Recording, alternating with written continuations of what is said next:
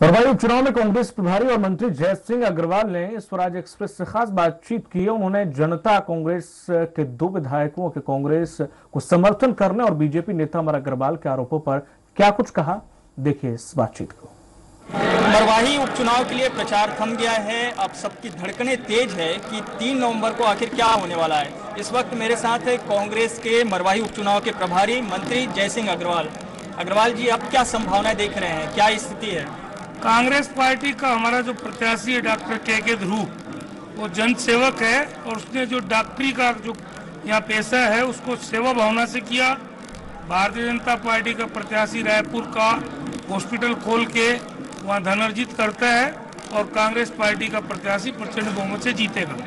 भाजपा जनता कांग्रेस को अपने साथ लाने में कामयाब रही तो कांग्रेस ने जनता कांग्रेस के दो विधायकों को अपने साथ लिया है। देखिए भारतीय जनता पार्टी जनता कांग्रेस को साथ लाने में कामयाब रही, लेकिन जनता कांग्रेस का अस्तित्व खत्म हो चुका है यहाँ। अभी मरवाई में उस पार्टी का कोई अस्तित्व नहीं बचा है, और जिन्होंने समर्थन दिया है, उनका साथ यहाँ की जनता छोड़ चुकी है, और जो दो विधायक अभी आए हैं, जिन्होंने अपना समर्थन दिया है, वो एक निशर्त समर्थन है, कोई कांग्रेस में शामिल होना, नहीं होना, इन सब बातों की अभी कोई चर्चा नहीं है। वो अपनी इच्छा से समर्थन देने आए हैं यहाँ। क्यों आए हैं? वो आप भी उनकी बातों को समझ गए होंगे कि चार विधायक हैं। उसमें दो लोगों ने वहाँ समर्थन की जो बात कही है, उनके अध्यक्ष ने जो घोषणा की है, इन दोनों विधायकों से चर्चा भी नहीं की उन्होंने। तो आपस में चार विधायकों की पार्टी, चार में दो एक तरफ़ है, दो एक तरफ़ है, आपस में चारों में तालमेल नहीं है।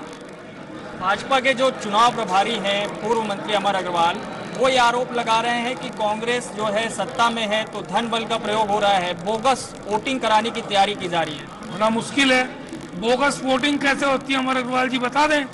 और उसको कैसे रोकना है वही बता दें। चलो मैं उनके साथ चल दूँगा कहाँ चल के रोकना है कहाँ शिकायत करना है। अगर चुनाव आयोग के पास चलना है निर्वाचन अधिकारी के पास चलना है अमर अग्रवाल जी के साथ में ज्वाइंट सिग्नेचर करके मैं उसकी आपत्ति करने को तैयार हूँ।